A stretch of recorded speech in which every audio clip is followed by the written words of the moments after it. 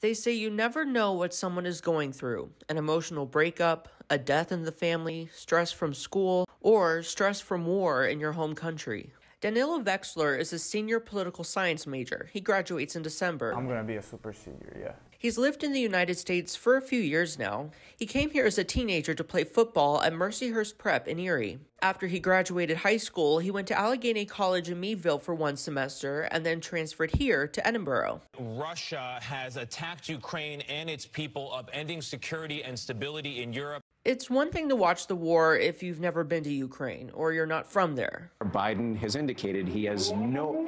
We have air raid sirens here, right, right in Kiev. If you hear that behind me. But it's different for Danylo. It hits home because Ukraine is home. Well, originally, I'm from the like the outer eastern part, like the most eastern, like right next to the Russian border.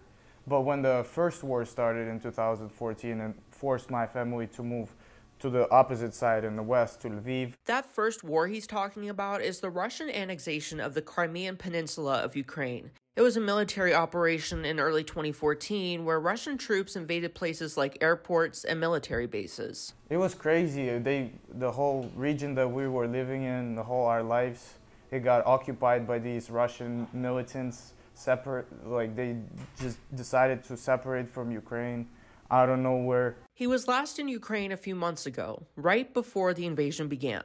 Everyone seemed kind of skeptical about Russians because they've been triggering everyone for past years, you know. So everybody was just skeptical that it's another provocation, taunting type of deal. So everybody was just living their own life like we do here every day. He called this triggering Russian games, games they were used to because Russia had been playing them for years. But when these games turned into war.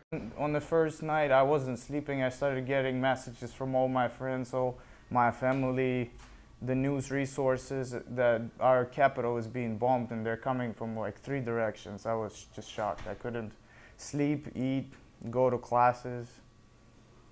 Yeah, it was pretty bad. While his parents are taking in refugees in their apartment in Lviv, some of his friends have joined the Ukrainian military. My football teammates, a lot of them are patriots. We're all patriots of Ukraine to the like highest standard, I'd say. A lot of people were feeling this call for being patriotic and just going to protect your own land.